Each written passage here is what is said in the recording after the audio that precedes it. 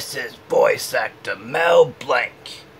He was known as the man of a thousand voices.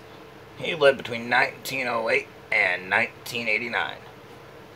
Mel voiced an array of characters, including Barney Rubble, Dino, Bugs Bunny, Porky Pig, Speedy Gonzales, Marvin the Martian, Daffy Duck, Foghorn Leghorn, and Woody Woodpecker.